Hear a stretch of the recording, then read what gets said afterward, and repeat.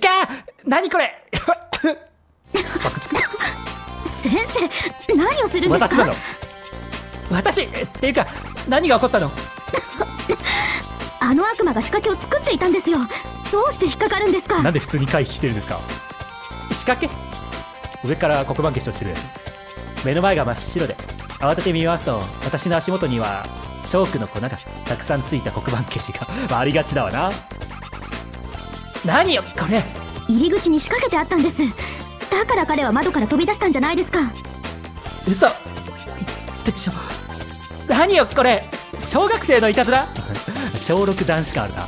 小6から小5ぐらいのこの微妙な時期の男子感あるな。いろいろできること増えてきて。だから言ったでしょ。仙道くんは人に迷惑をかけるのが一番の喜びなんです。そういう生徒です。そそうですか。ちょっとこんな子を私1年も面倒見るの？昨日は散々だった。でも今日こそはビシッと言ってやらなきゃ。どうしたんだよ？今日も機嫌の悪い面？仙道くんのせいでしょ？昨日はあんなことして後片付けが大変だったのよ。はあ？じゃあ昨日の詫びってことで今日はちゃんと補習を受けることにするぜ。本当？また騙そうと思ってない？ありがとう。嬉しいわお詫びじゃなくても補習は当然です。厳しいな同じです。だるだるだるだるん。お詫びじゃなくても補習は当然です。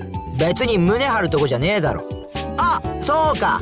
ない胸を少しでも大きく見せようって魂胆かよ。言うと思ったけどさお前本当に本当に刺されかねんぞ。刺されかねんぞ。刺されてもなんか文句言えねえぞ。失礼な。ちゃんと人並みにありますあるんだどうだかなだとしたらもうちょっと色気のある服着て見せてみろよ。むかやる気を出してくれてる間に補習を始めちゃわなきゃ。ちょくちょくちょっと大祖が空この中に乗り移る可能性があるな今後このルートだと。本当？また騙そうと思ってない？疑り深えな。そういうムカつくこと言うやつになら詫びなんてしねえでいっか。あ怒らせちゃったみたい。ありがとう。嬉しいわ。これってこれって。ダンダンダン。単純 うん。じゃあ早速だけど今日は日本史から始めましょう。昨日も日本史じゃなかった。いいぜ。もちろんお前が用事を済ませるまで待ってるからな。用事？私の用事？そんなものはないわよ。あ？おかしいな。また何かやったの？さっきお化けが探してたぜ先生はどこですかって聞かれたけおど化け？誰のこと？お化け？あの年齢詐称してんような見てくれの先行のことだろ。はい。そうだな。妖怪。お化けというか妖怪というか黒幕というか。それってもしかして衣笠先生のこと？お気がついたみてえだな。なんか俺様の月末試験のことでなんか伝えることがあるってよ。あーめんどくせえな。赤点だったら退学よ。ならちょっと行ってこなきゃってこなきゃいけないけど本当に待っててくれるのよね。おいおいちょっといたずらしたくらいで信用ねえな。俺様は嘘はつかねえよ。なんか企業のルートでは嘘っていうのがポイントになりそうだね。やたらと言ってくるね嘘って。サンド傘の正直って言うだろ。うんそうだな。もう絹笠だけにサンド傘サンド傘やろうがどんな正直よ。3度目の正直でしょ。知らねえのかサンド傘っつうのは江戸時代に正直者のサンド公爵が被ってたことからサンド傘と言われてサンド傘江戸時代にサンドかサンド公爵なんて人がいますか？あれは江戸時代にサンド飛脚が知ってんのかよ。そ れ由来まで知ってんの。そらこすごいな。がかぶってたから、えーサンド傘って言われるようになったのよ。そうそう。そのサンド飛脚を闇で操ってたサンド公爵が被ってたの なるほどな。影で操っていたのかサンド公爵だろ飛脚界を操って経済を牛耳っていたんだ。な交通網を牛耳っていたのか。だからそのわけのわからないサンド公爵から離れなさい。どうでもいいじゃんよ。やっぱりここはもう一度信じてみなきゃ。疑ってばかりじゃ信頼関係は築けないし。今の会話でどうやってそういう思い直すことになった？つらこは。分かったわ。千度君を信じるわね。ああここでサンド傘についてストラコが言い始めて サンド公爵について乗っていくっていう展開の方がいいんだけどな。正直者がバカを見るなんちて。ええ何か言った？いやいや早く行かねえとお化けが待ちぼうけだぜ。うん それじゃあちょっと待っててね。はいはいはい。俺様待つの大好き。今日はもものの一番にデスノートに名前書かれるな。デスノートに名前書かれるからな俺すいません衣笠先生が私に用事があるって聞いたんですけどそこまで把握してそう。衣笠先生。嘘だってことまで全部把握してそう。おおう久しぶり。ラブリー子猫ちゃん。銀次。そんなに息を切らしちゃ体に毒だぜ久しぶりだな。さあ今すぐ俺の胸でおやすみなさーい。そのまま刺される。いいいえそれよりも衣笠先生が。え？衣笠さんならえ今日は午後から出張中だぜ。絹さんって呼んでなかった？絹さんって呼んでたの違う人だっけ？太郎ちゃんだっけ？え？ああまた騙したのね仙道くん。仙道くんもうまたいないじゃないの。あれえメモが残ってる。トイレに行ってる。これって本当なの？先生声が外まで響いてっけどどうしたんだ？本当に初めかしら仙道くんじゃないの？初めかなぜかなぜか当たりを受けるっていうのないかな。まったくだ担任。ウィングモン久しぶり。耳障りな快音だぞ。ウィングモンどこでもドア出して。草井くんに真壁くんまた仙道くんが。なんだまた不賢いだ清春のやつ。清春の言うことをいちいち真に受けるやつがまだこの制定にいたとはな。ちょっといくらなんでもそんなこと言わなくてもいいじゃない。君たちは仲がいいでしょだからだってやつをよく知ってるからな。去年の担任の胃潰瘍の原因は半分くらいは清春のせいだろおい勝手に勢いになすりつけんな。全員でちゃんと分割して受け引き受けなさい。全員のせいだろ。完全に清のせいにすんじゃねえ。何言ってんだ。あれはお前が自家用ヘリでの登下校をやめなかったから校長に文句言われての胃潰瘍だろ。一番よく分かってんじゃないか初めが。へヘリ？バイク通学に文句をつけたから代わりにヘリで通学してやったまでだ。それを言うならお前がストリートで大暴れして止めに入った担任を間違えて殴ったのも原因だろ担任の先生って男の人？女の人？それそれにもよって初めのなんか初めというか相手もそうだけど初めの心の中への思いも変わると思うんだけどいろいろ。殴ったのは俺じゃねえよ。相手の拳を避けたら勝手に前の担任がぶつかっただけだ。えちょちょっと。やっぱり B6 が一筋縄じゃいかないって本当なのね。とはいえ俺たちのやったことなんて清春のいたずらに比べたらたかが知れてんぜ。まあなあいつやってんの犯罪行為だからな。基本的に火事になることとかが犯罪行為やってるから。な清春に頼まれてアナコンダの剥製を取り寄せてやったら前の担任のロッカーに仕込んだのには笑ったあな半分ぐらいお前だろ。半分ぐらいお前のせいじゃねえか。あとリアルな人体標本を生物室から盗み出して担任の車に接着剤でつけたのも清春だったから。完全にこれ取り返しつかないから。完全に取り返しつかないからもう。え？水木が呼び集めた爬虫類を水木？前の担任の靴の中に山盛りにしたのはひどかった。な水木？水木がどんどん特殊能力を獲得していくんだけど。ちょっと待って。他のこのルートで水木がどんどん特殊な能力を獲得していくことが判明するんだけど。可愛いじゃねえか小動物。ああそっか。大好きだったね。それはお前と水木くらいしか言わん。ちょちょっと待ってよ仙道くんって。仙道くんって。つまりはそういうやつだ。なるほどな。ま慣れればあれも面白い。早く慣れることだな。そんなのになれるわけないでしょ？まあ頑張ればそれなりにな。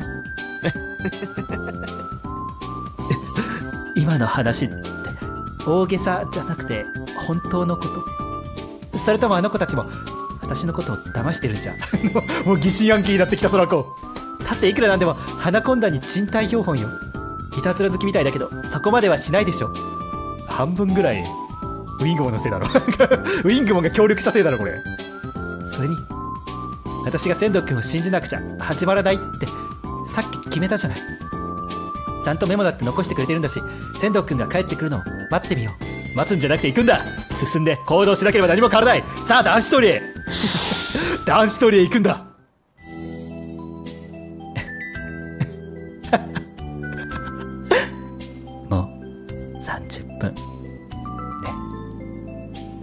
仙道君またなのね。一体。どこに消えたのよ！先生声が廊下にまで響いていますよ。どうやらまたあの仙道くんにしてやられたみたいですね。えくさっき彼なら保健室の前で見かけましたけど。保健室の前だとハーフロールが寝てるところを寝込みをぞきだな。保健室で寝ていたのはハーフロールだ。さっさと彼を捕まえに行かれたらどうですか？あありがとう。待ってなさいよ仙道仙道見つけたぞ。ちなんだよもう見つかったのかよ。今回は嫌に早かったな。保健室の先生をどこにやった？それじゃあやっぱりサボる気でいなくなってたのね。サボる気じゃねえぜ。観察日記をつけてただけだろ。自由研究。か観察日記あれ？気づいてなかったのかよ。ずっとお前が待ちぼうけ食らってる場面を激写してたのに。スマートフォンを学校に持ってくるんじゃない？今持ってきてもいいのかでも。持ってきてもいいのかな？今は。激写って。え？前しか見てねえから気がつかなかったんだろ。ずっとお前の後ろから携帯で撮ってやってたんだよ。え真後ろにいたの？ななんですって。じゃあ今保健室で先にいたのはテレポート待ってる間の大あくびシーンもバッチリ。ああ面白い。なんてことするなよ。引っかかる方がバカなんだろこれからも補習のたびに楽しませてもらうぜ。もう二度と引っかかりません。引っかかりません。明日からは覚悟しなさい。お前がな。なんなのよこの子。いやこいつで十分よ。言っとくけど勉強なんて絶対しねえからさそんな面白くねえことやってる暇俺様にはねえんだよ。あのね。バーガババアの説教なんか食らうかよじゃあな入り口はボンドで固めておいたのでキヨは出れなくなった。お互いに閉じ込められたことにキヨはまだ気づいていない 全ての手口という手口をボンドで固めといてやったわ。いたずら好きとかやんちゃとかそんなレベルじゃないくらい。仙道君がひねくれた性格だったこの1ヶ月で身をもって知った。意外と優しいいい子かもしれない。なんて考えていた私が甘かったんだ。これから始まる1年はまさに仙道君との大戦争となるだろう。仙道君補習の補習の成果を確かめるために毎月テストを受けてもらうわよ。んなかったりいいことやってられっかよ。ダメです。拒否権なし。バー人権なし。ガそんな逃げ切ってみせるぜ。絶対受けさせます。俺様を捕まえられたらな。絹川先生。協力者。あ逃げちゃダメよ。はい捕まえましまえました。た 呼ばなくても来てくれました。あ絹川先生。チェ話せお化け。そんなこと言うお口はこれですか？取れちゃいました。ポチって。怖すぎる。怖すぎる笑顔で取れちゃいましたねおしゃべりな口が。つって。怖すぎるなあらへおく次は鼻ですか？このままテストやっちゃいましょうか。このテスト受けてるの空子なんだよな。え本気かも。この笑顔。あらへいくらなんでもちょっと可愛いかも。かわいそうかも。ちゃちゃんとテスト受けるよね？仙道くん。どうなのかしら？受けるよね？受けるわよね？テスト。仙道くん。あ本人もそう言ってますからあのほっぺた剥がしてあげてください。優しいですね先生は。怖いな。剥がされた。あかっちいあっちいお前の愛で焦げちまいそうだぜ。なんだそのセリフ。なんだそのセリフお前。お前。左側のキヨより右側のちっこいキヨのが可愛いわ。あれ勝手に進んだな。はい。期末試験ね。どっちにすんだ？どっち？あーどっちだ？どっちだ？キヨか。じゃあダブルート見るか。愛してみろよ私を。あ元彼。仙道くん。みやっと見つけたわ。さあ補習に行きましょう。え補習？その設定続くの。その設定続くの。今日こそは逃がさないからね。本当にいたりしないよね弟。まさか本当にいたりしないで最終盤で出てこないね。そんな補習があるなんて担任の先生から聞いてないよ。仙道くん君の担任は私でしょ。違うよ。僕は仙道清明。弟だって前に言ったじゃない。あ担任は誰？じゃあ本当に何度も騙されてるから信用できない。それに。制服の着こなしまで一緒なんておかしいじゃない。思った。思った。やっぱり仙道くん本人でしょ。これは兄さんが無理やり同じ格好をさせるんだよ。ほら生徒手帳を見ればわかるだろ。あ本当に？どれどれ。3年 A 組仙道清明。本当だわ。まったく兄さんもひどいよな。いつも悪いことしたら全部僕に押し付けるんだまだ信用できないわ。血をよこしなさい。DNA 鑑定よそっか。ごめんね。間違えちゃって。いいよ。慣れてるから。修正テープかなんかで直したのお前。ところでお兄さんがどこにいるか知らない？さあバカ左右にでもいるんじゃない？ありがとう。じゃああなたは地獄に送っとくわ。全く信じてないその子。待って。おいチュじゃねえよ。おい。ええき急に何するの？犯罪よ頬とはいえ今のキス。驚いた。びっくりした顔の先生って可愛いね。早く見つかるようにおまじないのつもり。えこれ何？これ何？お前の本音とか言わんよなこれ。いたずら好きなところはお兄さんと同じね。まったく。ってことは本人じゃない！じゃあ 兄さん頑張って見つけてね。ありがとう。君もお兄さんを見つけたら星尾に来るように言っといてね。了解。なんで同じ手に二度も引っかかるかな。生徒手帳まで作ってたのお前。あいつ神聖なお人よしだな。なぶりがやりそうだぜ。手が込んでんな。生徒手帳まで作ってるんだお前。す。もう何も言うことはありません。した絹川先生か。怖っ。ちょ怖かった今。誰の声だと思った今？怖かったわ今。恐ろしい恐怖を感じたわ今。よかった。絹川先生か。さどあじゃっちにすんだ？あえー、勉強ルート見ていきましょう清春くん補習しましょう。あいいね。補習しようぜ。乗り気だな急に。ええいいの？俺様は今ご機嫌だからな。補習でも何でもやってやるぜ。そこら辺に倒れたハーフロールいないか。やられすぎて倒れたやついるだろそそうなの？なんだか様子がおかしいけど。まあ補習をしてくれるならいいか。というわけで一般相対性理論というのはええけな何の音？別にテロな気がするんだけど。机の下に隠れるなんて地震の時みてえだ。清春くん笑ってる場合じゃないでしょ？今のは明らかな爆発音よ。テロよ。一回室で何かの実験の失敗。それともガス爆発？ももしかしてテロだとかだったらどうしよう？慌てた顔すっげえ面白い。ああなんか再生したのか音そんな写真撮ってる場合じゃないでしょ？早く逃げましょうそれが逃げましょうだって。何がそんなにおかしいのよ。もうちょっと早いかと思ったんだけど次元爆弾成功だな。お前どういう技術してんの？次元爆弾作ってきたの？は？ほう今の顔もいいな。もう一枚いただき。将来お前風来機とかやんないか？キヨ一緒に風来機とかやんないか？えちょっと次元爆弾ってどういうこと？今回は頭使ったんだぜ。水溶性の袋の中にナトリウムと灯油を詰めてプールの中に浮かべといた。灯油？お前お前割とマジでそれ爆弾じゃねえかよ。ななあそんなことをしたらナトリウムと水が反応して大惨事に。そうだね。発熱して。すっげえ水柱だったさ。水の呼吸。もしかして今日星を受けるって言ってくれたのって。そうそう。こっからだとプールがよく見えるしお前の驚いた顔も見れるからな。あどうでもいいけど警察来ると思うんですけど さすがにそのレベルになると警察来ると思うんですけど。ななあ。いやあ受けた受けた。受けたじゃないわよ。大事じゃない。だな。んじゃ証拠の品でも回収に行くか。じゃあな。面白い。どうしよう。頭が痛い。ああこの後空子が事情を説明するのかな？先生こんなに感動したのは初めてですよ。はい。本当？心から言ってる？絹川先生。本当？